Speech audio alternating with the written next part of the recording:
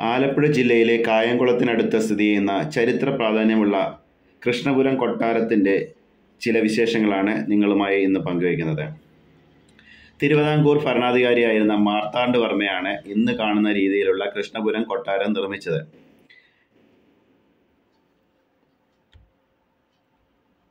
കൃഷ്ണപുരത്തെ ശ്രീകൃഷ്ണ ക്ഷേത്രത്തിന് തൊട്ടടുത്ത് തന്നെയാണ് കൊട്ടാരം സ്ഥിതി ചെയ്യുന്നത്. ഇടുങ്ങിയ ഇടനാഴികൾ ജനലുകൾ ഒക്കെയാണ് ഈ കൊട്ടാരത്തിന്റെ പ്രത്യേകതകൾ.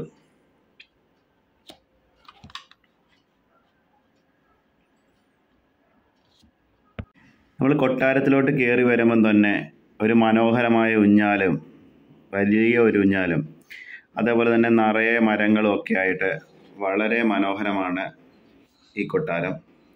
നമുക്ക് ഫാമിലിയുമൊക്കെ ആയിട്ട് സ്പെൻഡ് ചെയ്യാൻ പറ്റിയ ഒരു മനോഹരമായ ഇടമാണ് ഈ കൊട്ടാരം. കേരളീയ വാസ്തുശില്പ രീതിയിൽ പണികഴിപ്പിച്ചിരിക്കുന്ന ഈ കൊട്ടാരം പതിനാറ് ഘട്ടായാണ് നിർമ്മിച്ചിരിക്കുന്നത്. ഒരു മനോഹരമായ ഉദ്യാനം അതേപോലെ തന്നെ പടിപ്പുര വിശാലമായ മുറ്റം ഒക്കെ ഇതിന്റെ പ്രത്യേകതകളാണ്. കൊട്ടാരത്തിന് മുന്നിൽ തന്നെ ഒരുപാട് ടൂറിസ്റ്റുകൾ ഉണ്ടായിരുന്നു. ആലപ്പുഴ ജില്ലയിലെ പ്രമുഖ പട്ടണങ്ങളിൽ ഒന്നാണ് കായംകുളം. കായംകുളം പട്ടണത്തിൽ നിന്ന് ഏകദേശം രണ്ട് കിലോമീറ്റർ തെക്കോട്ട് മാറി ദേശീയപാതയ്ക്ക് സമീപത്താണ് കൃഷ്ണപുരം കൊട്ടാരം സ്ഥിതി ചെയ്യുന്നത്.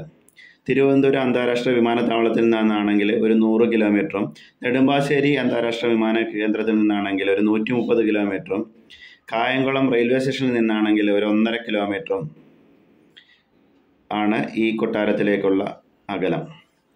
കായംകുളം ബസ് സ്റ്റാൻഡ് ഒരു പ്രധാന ബസ് സ്റ്റാൻഡാണ്. തിരുവനന്തപുരത്ത് നിന്നും എറണാകുളത്തേക്ക് പോകുന്ന എല്ലാ ബസ്സുകളും ഇവിടെ നിർത്തും. തിരുവിതാംകൂറിന്റെ ആസ്ഥാനമായിരുന്ന പത്മനാഭപുരം കൊട്ടാരത്തിന്റെ ഒരു ഹ്രസ്വരൂപം കൂടിയാണ് ഈ കൊട്ടാരം. ഇരുതല മൂർച്ചയുള്ള പ്രസിദ്ധമായ കായംകുളം വാൾ കായംകുളം കൃഷ്ണപുരം കൊട്ടാരത്തിൽ സൂക്ഷിച്ചിട്ടുണ്ട്. ഇതിനുള്ളിൽ തന്നെ ഒരു ബുദ്ധമണ്ഡപം കൂടി നിങ്ങൾക്ക് കാണാം. പക്ഷെ അവിടെ ഫോട്ടോഗ്രാഫി വീഡിയോഗ്രാഫിയോ ഒന്നും അലൗഡ് അല്ല. അത് കാരണം അതിന്റെ ചിത്രങ്ങളൊന്നും നമ്മൾ എടുത്തിട്ടില്ല. അതിബൃഹത്തായ നാണയശേഖരങ്ങൾ ചുമർ ചിത്രങ്ങൾ പിന്നെ രാജകുടുംബം ഉപയോഗിച്ചുകൊണ്ടിരുന്ന പല്ലക്ക് ഒക്കെ നിങ്ങൾക്ക് ഇവിടെ കാണാം. രാവിലെ ഒമ്പത് മണി തൊട്ട് ഒരു മണി വരെയും ഉച്ചയ്ക്ക് രണ്ട് മണി തൊട്ട് നാലര വരെയുമാണ് എൻട്രി ടൈം.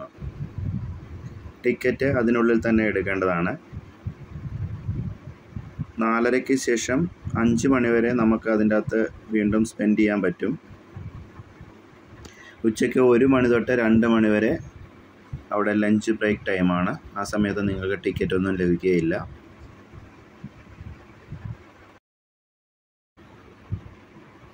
തിങ്കളാഴ്ച ഹോളിഡേ ആണ്. മ്യൂസിയം തുറന്ന് പ്രവർത്തിക്കുന്നതല്ല. ഇപ്പം അഡൽട്ടിന്റെ ടിക്കറ്റ് നിരക്ക് ഇരുപത്തഞ്ച്. കുട്ടികൾക്ക് അഞ്ച് വയസ്സ് തൊട്ട് പന്ത്രണ്ട് വയസ്സ് വരെ അഞ്ച് രൂപ ഒക്കെയാണ് ഇപ്പോഴത്തെ നിരക്ക്. പിന്നെ മൊബൈൽ ഫോണിന് ഇപ്പോൾ ട്വന്റി റുപ്പീസാണ് ചാർജ് ചെയ്യുന്നത്.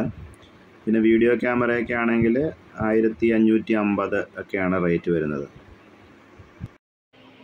കൊട്ടാരത്തിന് പിന്നിലായി കുളത്തിനോട് ചേർന്ന് നിങ്ങൾക്ക് മനോഹരമായ ഉദ്യാനം കാണാം. അവിടെ നിങ്ങൾക്ക് ഒരുപാട് സമയം റിലാക്സ് ചെയ്തൊക്കെ ഇരിക്കാൻ പറ്റിയ ഒരിടമാണ്. ഈ കുളത്തിൽ നിന്ന് കൊട്ടാരത്തിലോട്ടുള്ള വ്യൂ ഒക്കെ വളരെ മനോഹരമാണ്. ഞങ്ങൾ ഇവിടെ ഒരുപാട് ഫോട്ടോസും വീഡിയോസും ഒക്കെ ഇവിടെ നിന്ന് എടുത്തു. വളരെ ബ്യൂട്ടിഫുള്ളാണ് നമുക്ക് റിലാക്സ് ചെയ്തിട്ട് ഒരുപാട് സമയം ഇരുന്ന് എൻജോയ് ചെയ്യാൻ പറ്റിയ ഒരിടമാണ്. ഞങ്ങൾക്ക് ഇവിടെ വന്നപ്പോൾ ഏറ്റവും അട്രാക്റ്റീവായിട്ട് തോന്നിയത് ഈ വലിയ ഊഞ്ഞാലാണ്. ഇത് എനിക്കും യൂക്കൂട്ടനും നീതൂനും ഒക്കെ ഒരുപാട് ഇഷ്ടമായി. യൂക്കൂട്ട നമ്മുടെ ഈ വലിയ ഊഞ്ഞാലൊക്കെ എങ്ങനെയുണ്ടായിരുന്നു ഉണ്ടായിരുന്നു? സൂപ്പർ ആയിരുന്നോ? ആണോ? യൂക്കൂട്ടൻ എത്ര നേരം ആണോ? എത്ര നേരം യൂക്കൂട്ടൻ എഴുതിയിരുന്ന ആടി? ഒരുപാട് സമയം ആടിയാ? നല്ല സൂപ്പറായിരുന്നോ സൂപ്പർ അഞ്ഞു കൊട്ടാരത്തിന്റെ പല ഭാഗത്തും വീഡിയോ അലൗഡ് അല്ല. നമുക്ക് ഫോട്ടോ എടുക്കാം. അപ്പം ഞങ്ങളെടുത്ത കുറച്ച് ചിത്രങ്ങളാണ് നിങ്ങൾക്ക് പങ്കിടുന്നത്. അതാണ് ക്ഷേത്ര പ്രവേശന വിളംബരത്തിന്റെ ഒരു ചിത്രമുണ്ട് അവിടെ. പിന്നെ ഒരുപാട് ശില്പങ്ങൾ കാണാം. ഇതാണ് ഞങ്ങൾ നേരത്തെ പറഞ്ഞ ഗജേന്ദ്ര മോക്ഷം ചുവർ ചിത്രം. ലൂക്കൂട്ടൻ പല്ലക്കിന്റെ അടുത്ത് നിൽക്കുന്ന ചിത്രമാണ്. പിന്നെ നമുക്ക് മെയിൻ അട്രാക്ഷനായിട്ട് കണ്ടതാണ് പീരങ്കയുടെ ഉണ്ടകൾ. ഇതാണ് കായംകുളത്തെ ഇരുതല വാൾ. ഇത് പിന്നെ ഒരുപാട് ഇഷ്ടമായി. ഇതാണ് നാണയശേഖരങ്ങൾ അപ്പൊ ഞങ്ങളുടെ വീഡിയോ ഇഷ്ടമായെങ്കിൽ ലൈക്ക് ചെയ്യുക ഷെയർ ചെയ്യുക സബ്സ്ക്രൈബ് ചെയ്യുക.